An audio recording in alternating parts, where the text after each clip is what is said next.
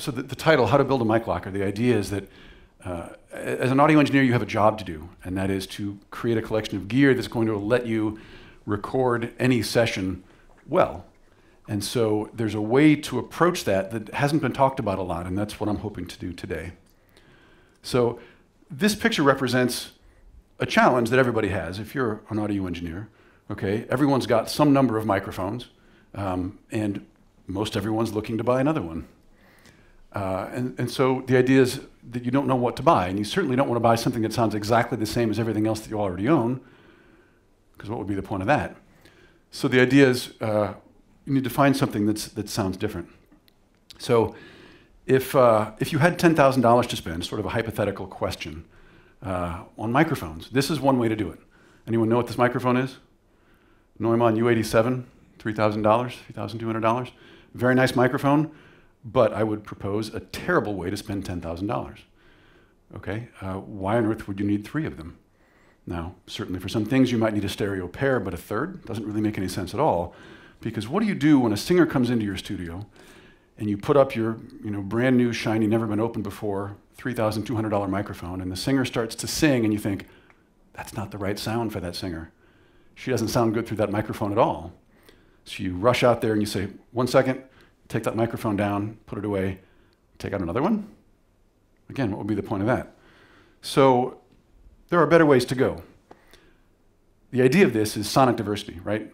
Uh, when you're building a microphone locker or a collection of microphones, what you want to do is have things that sound different so that when that singer comes in and doesn't sound great through the microphone who, that you thought would totally kill, you want something else to reach for. Something that's darker or brighter or richer or something, something else, right? So, how do we get sonic diversity? The gray circle here represents the idea that there's, no matter what your, your, your job or your role is, there's a whole universe of sounds that you'd like to record. This is true whether you're in a studio or out in, in the field. And every microphone has a finite set of sources on which it's going to sound great. And that's what the green circle represents.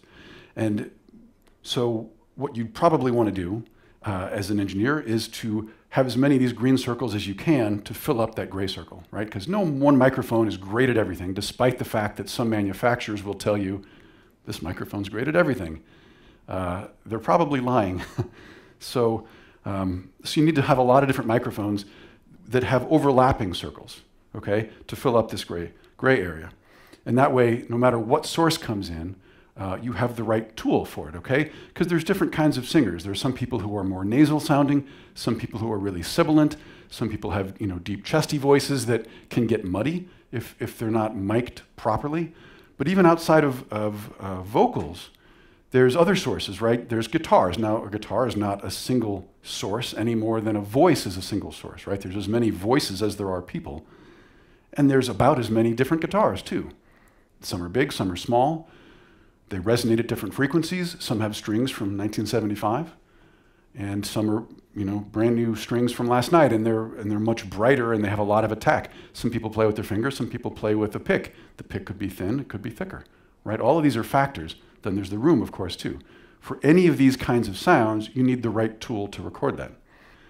So um, we talked about uh, sonic diversity. So here's one way to do it. Now this is not a shopping list. This is just an idea, right? This is the, the counterpoint to that slide that showed three expensive German microphones. Um, so here's a way to spend less than half as much money and get a whole lot more breadth of coverage, okay?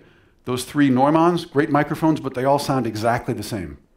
Whereas these sound completely different, intentionally, all right? So you've got some dynamic mics on the left side there, uh, dynamic mics, and we'll talk about microphone types a bit more over the course of this, uh, this conversation. But uh, dynamic microphones are great for loud sources. You know, you've got your brass instruments, you've got your drums, things like that.